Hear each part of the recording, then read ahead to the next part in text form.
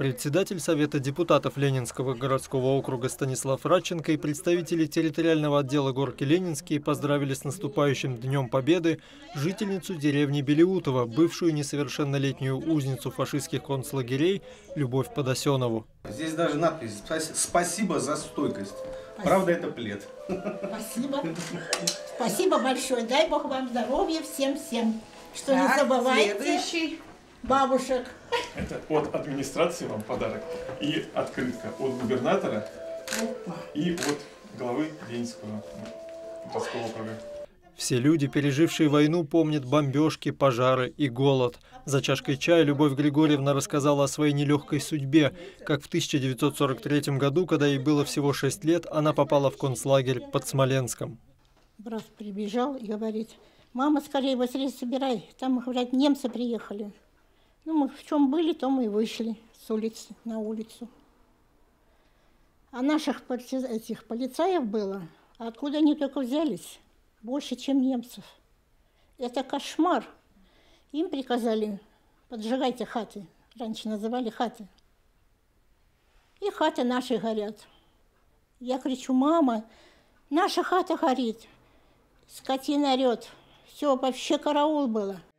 В это же время депутат Совета депутатов Максим Арапов вручил подарки и произнес теплые слова в адрес председателя общественной организации бывших малолетних узников фашистских концлагерей Любови Платоновой. от администрации Ленинского городского И от округа, губернатора. от губернатора, Спасибо. от Совета Приятно. депутатов, от меня лично. Да, спасибо большое. Поздравляем вас с праздником 9 мая. Спасибо большое. Вот. И хотим, Тронут. да, вам низкий поклон. Тяжелое детство, полное испытаний, навсегда закалило Любовь Ивановну. Сейчас она отдает всю свою энергию на развитие общественной организации и занимается патриотическим воспитанием подрастающего поколения. В преддверии Дня Победы она всегда испытывает сильнейшие эмоции. Необыкновенное счастье, необыкновенный подъем и необыкновенная благодарность вот нашим, нашему родному округу, родному городу и родным людям, которые мы, мы действительно, э, э, наш замечательный округ, мы как одна семья. Депутат муниципального совета Павел Русаков зашел в гости к жительнице города Видное Наталье Минаевой. Женщина была благодарна за оказанное ей внимание и поддержку. Мы вас сегодня торжественно пришли поздравить Спасибо с наступающим праздником Великой Спасибо. Победы.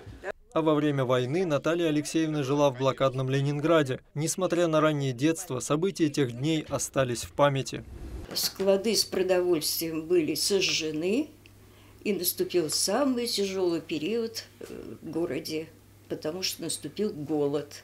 Есть было нечего. И хотя мне было три года, я четко помню, когда в три часа дня мне давали мои 125 грамм хлеба. Это я четко помню.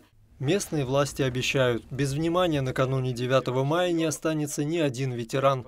Дмитрий Книга, Наталья Буслаева, Кирилл Иванов, Александр Логинов, Ольга Садовская, Видное ТВ.